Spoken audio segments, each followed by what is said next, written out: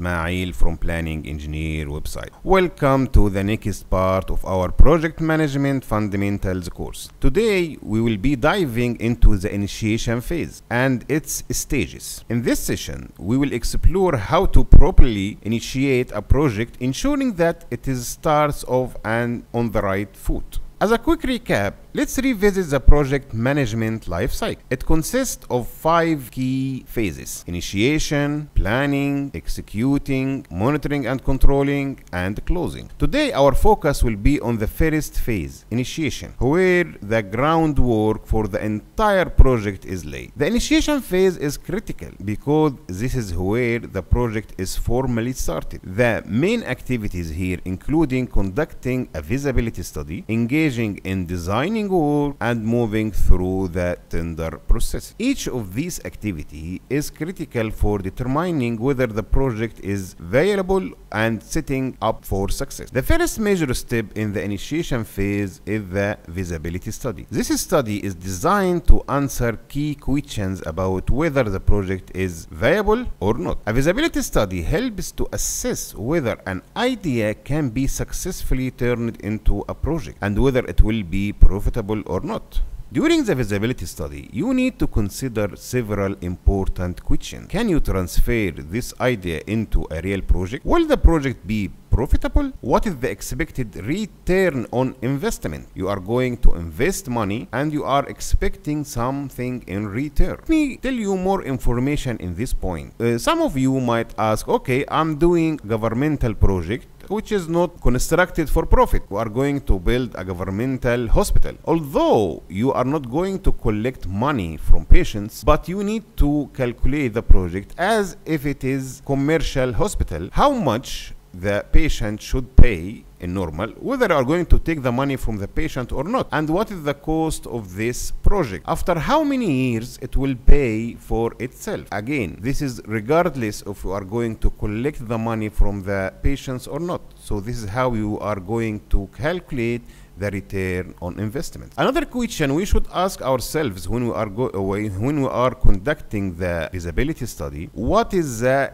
challenges or problem we might face. Because sometimes constructing a project in an area would be very risky. So by changing the location of the project you make the project more profitable. Okay so the feasibility study has two main objectives first it is analyzing whether the project is executable or not. Second it helps prevent you from starting projects that are unfeasible or too risky. By carefully analyzing the feasibility you can avoid costly mistakes and likely project to success. After confirming that the project is visible, the next step is to develop a business case. The business case takes additional questions. Will the project be profitable? Now we know it is executable, but will be profitable or not? What are the costs involved? You now should have initial costs about your project. How much it will cost me? Does the project align with our overall, overall strategy? What is the expected return from this project? The business case helps to justify the project from a financial and strategic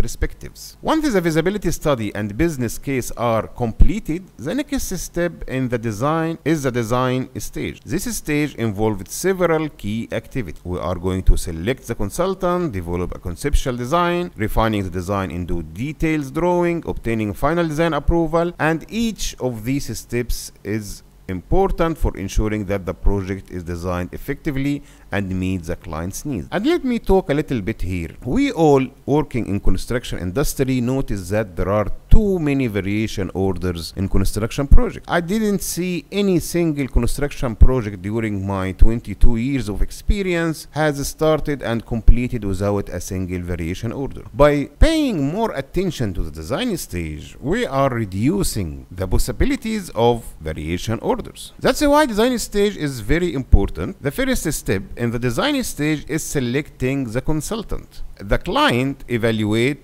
different consultant based on their qualifications, experience, and past projects portfolio. It is important that the owner and the consultant share the same vision for the project to ensure a successful outcome. So we select the consultant, we make the conceptual design, then design development, and finally the design approval. Design is often an iterative process. We discussed this expression in the previous lecture, but let me tell you again, this means that the design might go through several revisions before they are finalized. And the time you spend in this design to make it more quality, more qualified design will definitely prevent future problem. So encourage open communication and regular feedback to ensure the final design meets the client expectation. Once a consultant is selected, the next step are to create a conceptual design. So it is important to pay some attention with the consultant selection you might have some meetings with the consultant. As a client explain and make sure that the consultant clearly understand your needs. Design stages. In the conceptual design the client collaborate with the consultant to outline project requirements and to develop conceptual design that align with the owner vision. And it is important to start with conceptual design. As we all know that the detailed design might take a lot of time and effort. Imagine the consultant is doing a detailed design for some buildings with some special facade works and the client is looking for something else. So it is important for the conceptual design to have the headlines of the design. We need a building how many stories what is the materials will be used what is the built up area.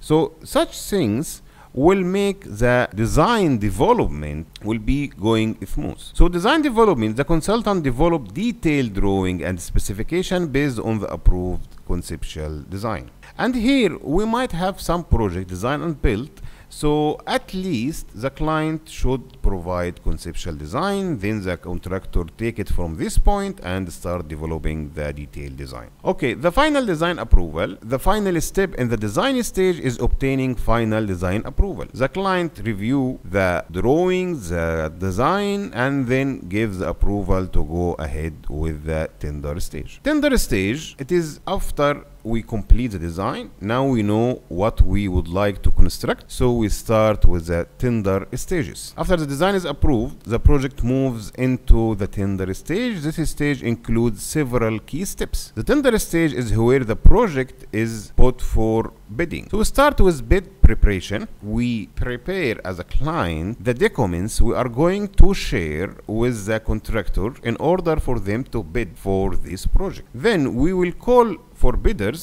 After the design approval we prepared the bid documents then we can call for bidders. Then bid submission bid evaluation and award of contract then contract signing. We're going to discuss each stage of this in details so we'll give you an idea about what is the stage might be like. So bid preparation. During the bid preparation stage it is important to clearly define the project requirements and the scope in the bid. This includes all relevant details such as project specifications timelines and evaluation criteria once the bid documents are prepared the next step is to call for bidders this involves advertising the tender opportunity through appropriate channels and inviting potential contractor to submit their bid. The bid submission, each bidder prepare the required qualification document and arrange them into two packages. We will have here technical proposal and financial proposal. The technical proposal explains how the bidder plans to execute the project while the financial proposal provides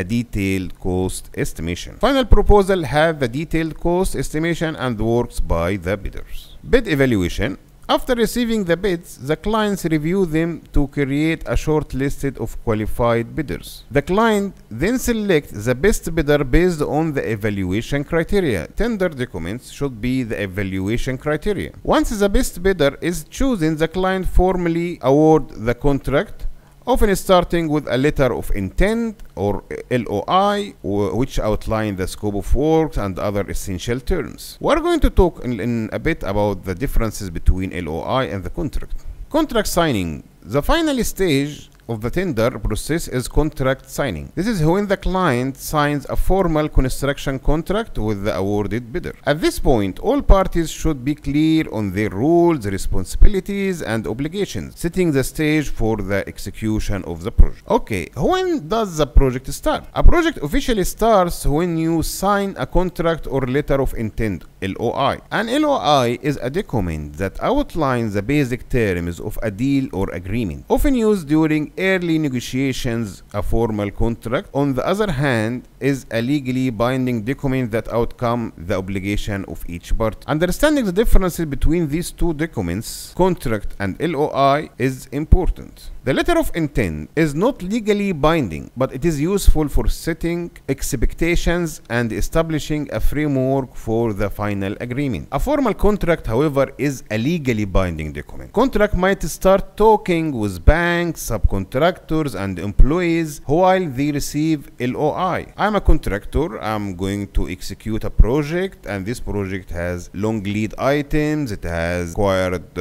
employees with special requirement, with special experience. I can start talking with them, making interviews, talking to my suppliers, they start collecting some prices, but I'm not going to take any action on ground because I don't have yet the contract. When it comes to the contract, now I can, in this stage, start hiring the employees, start issuing my bank bonds, start buying goods. So the contract is a formal legally binding and now I can start my project. I hope this video was useful to you. See you in the next one.